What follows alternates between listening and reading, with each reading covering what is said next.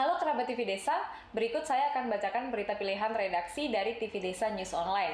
Kali ini berjudul Gampong Meurandeh Ledaya Laksanakan Musdes Penetapan SDGs. Pemerintah Gampong Meurandeh Daya melaksanakan mus musyawarah desa khusus atau Musdesus penetapan data SDGs desa tahun 2021. Kegiatan yang dilaksanakan di aula kantor Gocik tersebut berlangsung hikmat dan tetap menerapkan protokol kesehatan.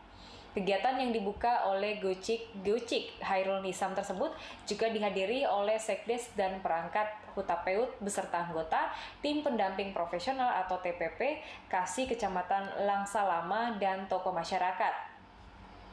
Gucik Gampo Hairul Nisam dalam Nisam dalam sambutannya menyampaikan ucapan terima kasih kepada tim pendataan.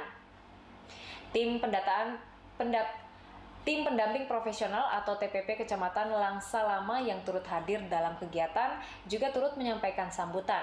Adalah Zuhdi yang merupakan pendamping desa tingkat kecamatan menyampaikan bahwa 18 tujuan bahwa ada 18 tujuan pembangunan berdasarkan SDGs. Setelah terjadi diskusi panjang, akhirnya Saifuddin Hamshal selaku Ketua Hutapeut Gapong mengetuk palu tanda hasil pendataan telah disepakati. Baiklah kerabat TV Desa, berita tadi ditulis oleh Julianto, mobile jurnalis TV Desa. Sampai jumpa pada berita pilihan berikutnya.